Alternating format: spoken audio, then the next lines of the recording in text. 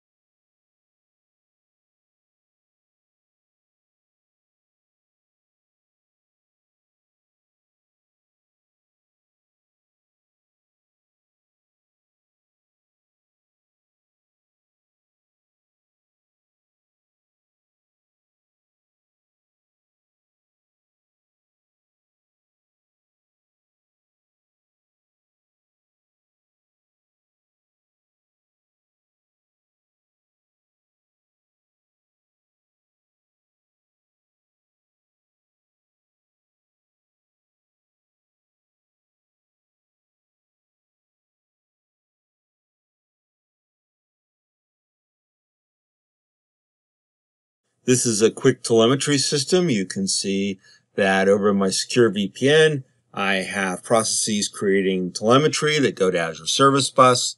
I create a couple of consumer groups in my uh, Azure Service Bus and uh, one group feeds the storage worker, which is putting the raw messages into blob storage. And the other one is feeding Azure Stream Analytics and it is creating KPIs from the incoming telemetry data and storing those in Azure Table Storage. And then Power BI is able to mine both of those and I get telemetry reports and dashboards.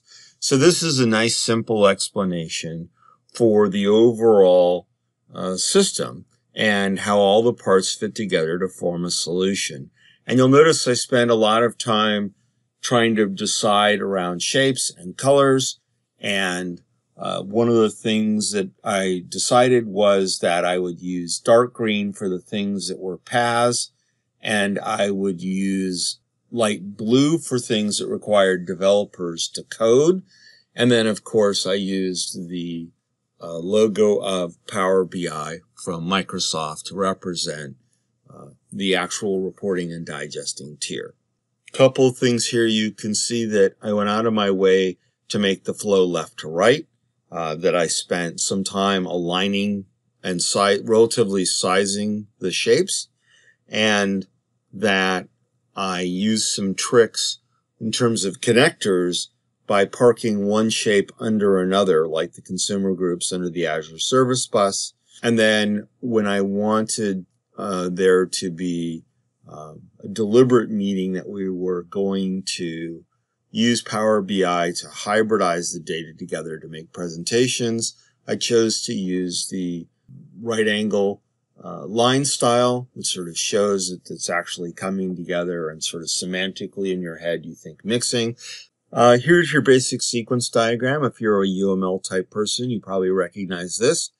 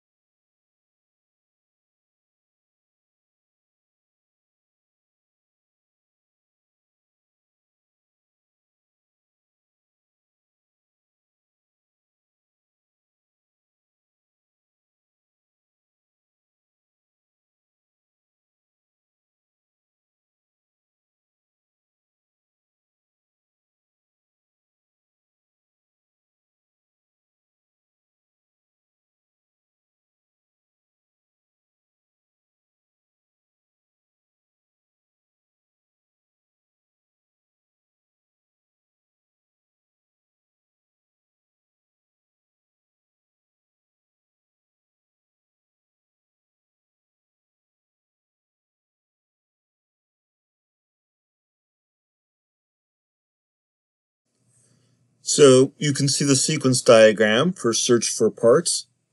And I can probably clean this up a little bit more uh, by moving some of the components around.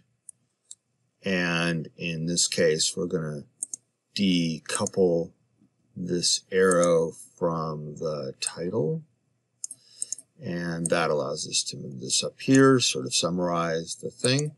And there's an implied color here. Uh, traditionally, you might want to actually start with a lollipop. That's the green label on the top and the bar, green bar down the middle. But in this case, I think it actually is easier to read this way. So we have opposed to part search. We validate our security token and throw an error if we don't like it.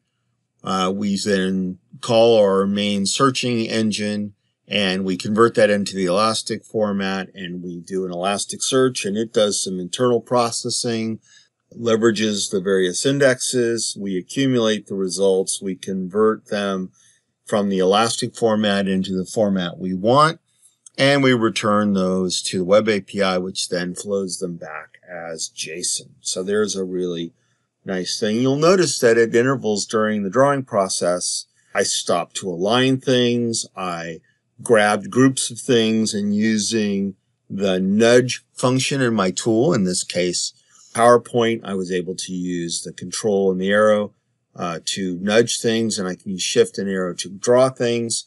And the end result is pretty clean representation. Red is error, black is the normal flow. Light gray are things that are done kind of invisibly to us, but we have to know are happening. Um, the rationale being that if we want our search to work correctly, we have to do some work, uh, pre-work in Elastic to set up indexes and things like that. And um, then we probably don't want it back in the raw format. Uh, we want to translate it into something a little bit more business friendly and then return those, uh, that probably IEnumerable of something collection and then emit that out the web API as answers. So here is a sample. Now, I'm not saying this is a real world implementation, but it does show you the sort of flows and it shows you the drawing technique. Notice that I relabeled things at intervals and I thought about things at intervals. And as I drew it out and I was refining what I wanted to say, um, I did a lot of uh, reformatting and moving things around, and that's expected. Entity relationship diagram, uh, or a DRD, ERD, depending on your comfort level. And we are going to use kind of this standard notation. And so one of the things I do is like the other pages where I had kind of a blank canvas. I have kind of a blank canvas here as well and I'm going to grab pieces and parts of it and draw a simple system that represents entities and their relationships.